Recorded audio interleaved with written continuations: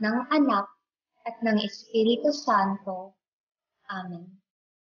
Nagmamahal naming Diyos, hawak mo ang buhay, pagkilos at pag-iral ng bawat tao. Mula sa iyo ang lahat ng pagpapala. Nagpapasalamat kami at pinupuri ka namin. Salamat sa inihandog mo sa aming mga anak. Tulungan kaming ingatan sila at kayatin magsaliksik ng buong kakayahan. Bigyan mo kami ng lakas ng loob at tapang na maituring ang bawat araw bilang isang panibagong pagsisimula.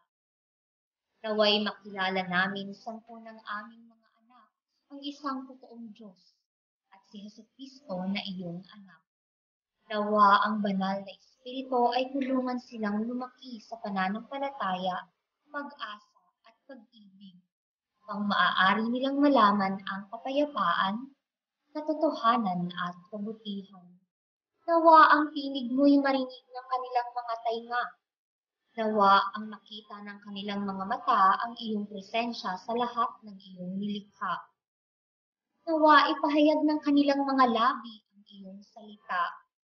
Nawa ang kanilang mga puso ay panahanan ng iyong kabanalan. Nawa ang kanilang mga kamay ay mapagkawang gawa Nawa ang kanilang mga paa ay tahakin ang landas ni Yesu Kristo, iyong anak at aming Panginoon. Minamahal naming Birhen ng Lasalet, ipinagkakatiwala namin ang aming sarili at mga anak sa iyong makainang paglingap at pagkakandili. Hinihiling namin ngayon at magpakailanman. Amin. Ang ngalan ng Ama, ng Anak, at ng Espiritu Santo. With pride and dignity, let us sing the Philippine National Anthem. Bayang magiliw, perlas ng silanganan, alab ng puso, sa dibdib mo'y buhay. Lupang hinirang, duyan ka ng magiting, sa manlulupig, Di ka pasisiin sa dagat at bundok, sa simoy at sa langit mong bughaw. May dilagang tula at awit sa paglayang minamahal. Ang kislap ng watawat mo'y tagumpay na nagniningning. Ang bituin at araw niya kailan pa may di magdidilim. Lupa ng araw ng walhatit pagsinta, buhay ay langit sa piling mo. Aming ligaya na pag may mga api ang mamatay ng dahil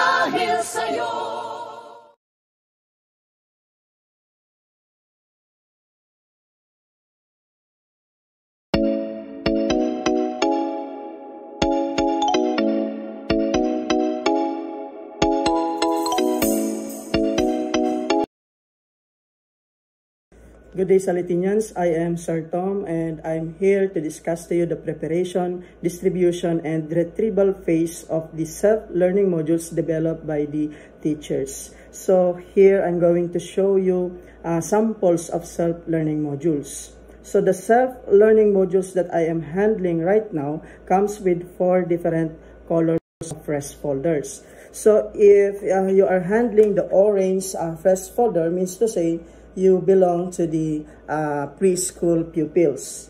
If the first folder is color blue, means to say you are from the elementary department. And the color green folder is for the junior high school. And the big pink folder is for the senior high school. Pasalit of Ramon teachers crafted learning modules and coordinators in the different subject area evaluated each module before it will be distributed to everyone. So the content of each modules are aligned to the K-12 most essential learning competencies. Then the teachers were contextualized and localized the certain topics required them to do so, which is of course aligned to the level of your understanding and thinking.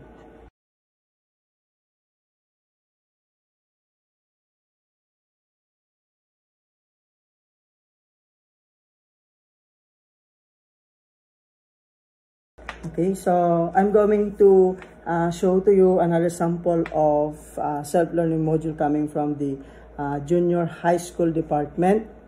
Okay, so here you can see the section, your section, and at the same time the name of your advisor. Below here is your weekly schedule. So meron tayong weekly schedule na susundan. Okay, uh, each day you are going to take two subjects. For example, Monday, uh, your subjects would be RBE and Math, Tuesday, Science and TLE, Wednesday, English and MAPE, Thursday, Filipino and Computer, and Friday, AP and CAT. Okay, yung CAT subject is for grade 10 uh, students only. Okay, because I'm handling the self-learning module of a grade 10 student. So, the schedule that I have mentioned is applicable to all junior high school students from grade 7 to grade 10 only. Because in the senior high school, iba yung uh, schedule ninyo For the elementary department, iba din. And sa preschool, iba din yung uh, schedule. So, makikita doon sa uh, front page or cover page ng self-learning module yung inyong uh, schedule. So, kindly follow strictly itong schedule na ito kasi uh, yung teacher, hihintayin niya yung message or call ninyo doon sa kanyang period if in case you have questions regarding your modules. So what is inside this self-learning modules? Of course, yung mga modules doon sa subject. And good thing, naka-arrange na po yung uh, mga modules dito sa folder na ito. So RBE, mathematics, yan. So another attachment of your module is the school calendar. So makikita nyo meron kayong school calendar dyan. So nandyan na lahat po yung mga uh, holidays, nandyan yung mga examination schedules, Okay, yung giving of cards, nandyan na po lahat-lahat yan.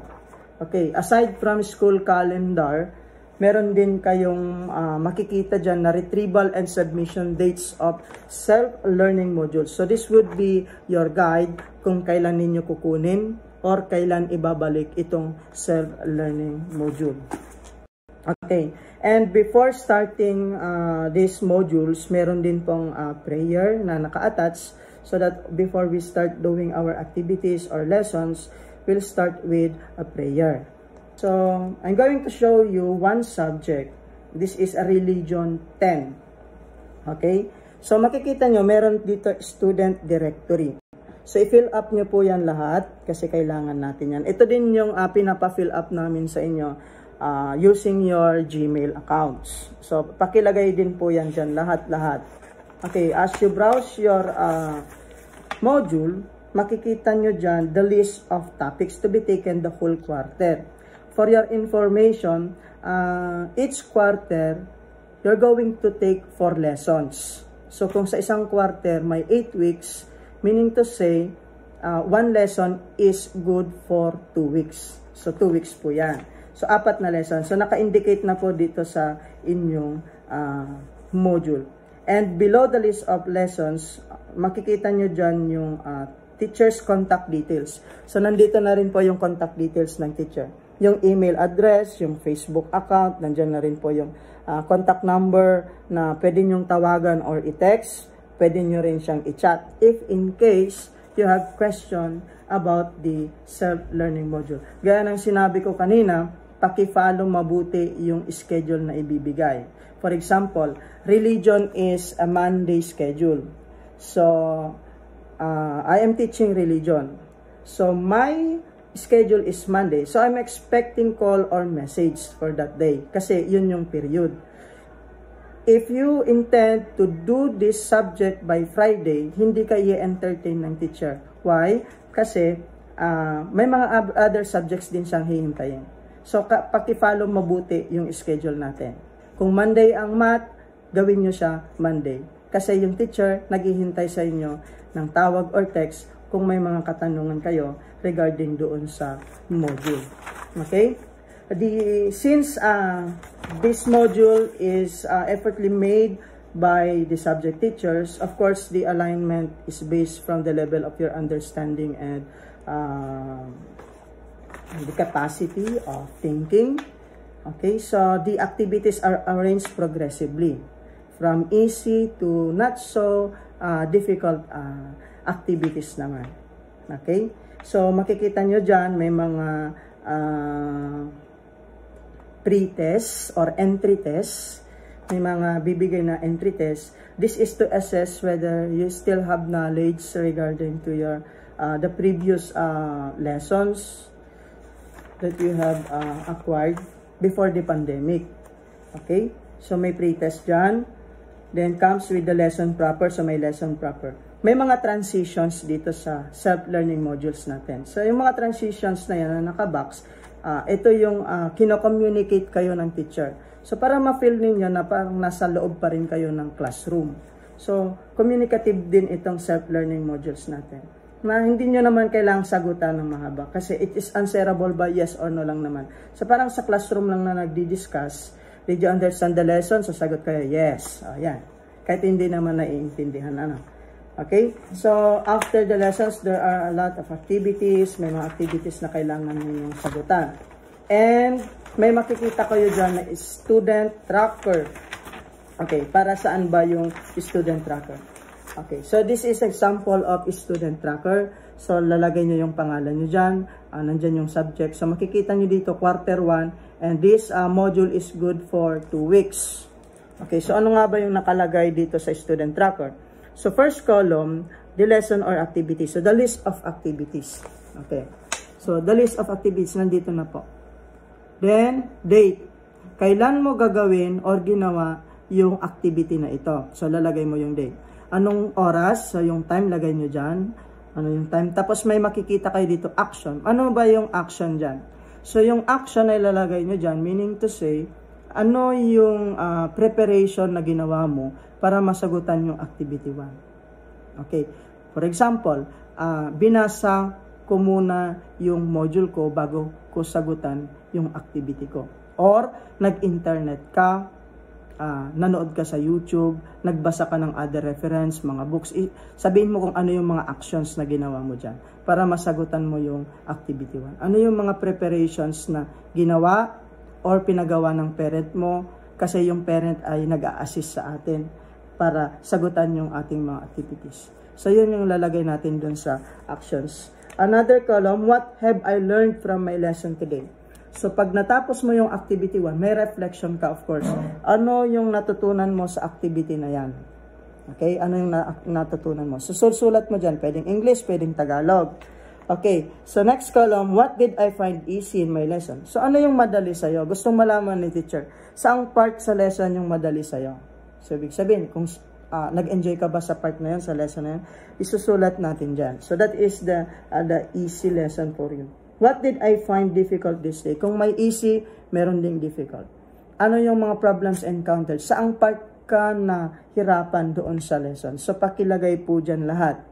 Para pag nakita ni teacher, alam niya yung gagawin, alam niya yung follow-up. Or magbibigay uh, yung teacher ng intervention para yung part na nahirapan ka is ma-explain mabuti para at least uh, hindi ka na malilito next time. So, what do I need to do next day? Okay, ano yung gagawin mo the following day? Okay, so, yung experience mo sa activity 1, okay, kung ano yung experience mo sa activity 1, yun yung ano, uh, parang springboard mo para mag-prepare doon sa lesson 2. Kung nahirapan ka sa lesson 1, ano yung mga steps na, or actions din na gagawin mo. So, kailangan ko siguro mas maraming reference. Kasi baka yung activity 2 mas mahirap na. Mga ganon. So, yun yung ilalagay natin dun sa student tracker. So, kailangan yung i-accomplish lahat ito at i-attach din once you submit your uh, self-learning module on the specified date of returning the self-learning module. Okay, so for the distribution phase of the self-learning modules, your parents and guardians will come to school to get the printed modules, following of course, the social distancing protocol and the proper hand washing sanitation. So yung schedule ng pagkuha ng self-learning module ay na-discuss na during the meeting. And of course, the venue of uh, the distribution of uh, the self-learning modules, naka-indicate na rin yun.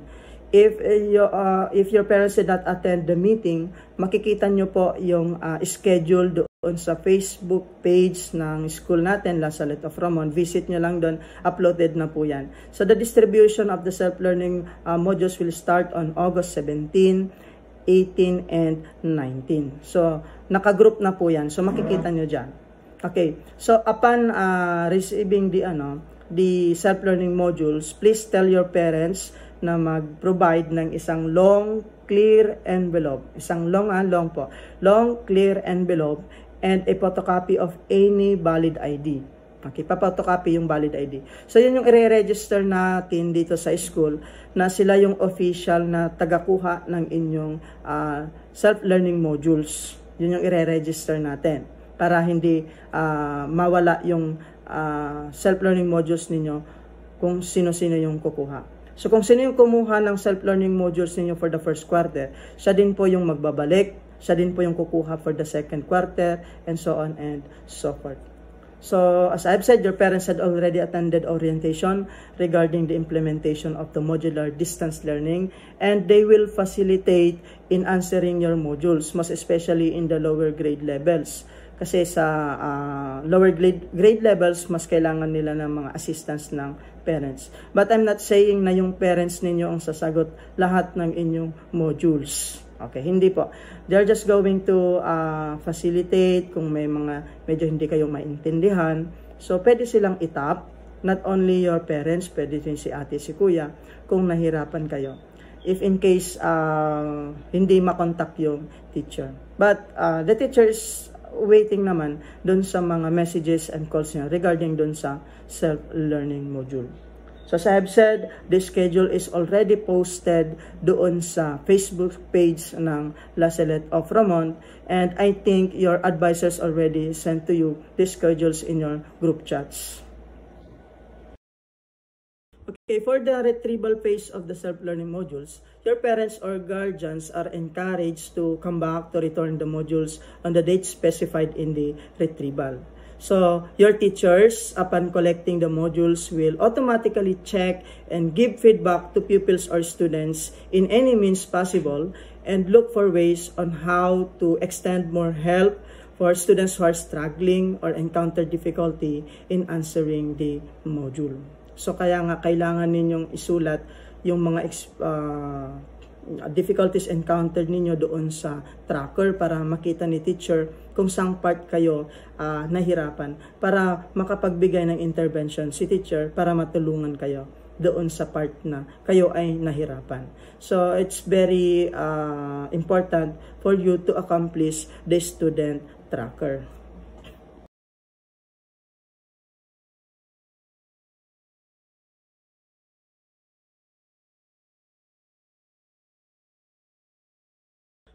So if you still have questions regarding self-learning modules, uh, don't hesitate to message us and ask us about the modules.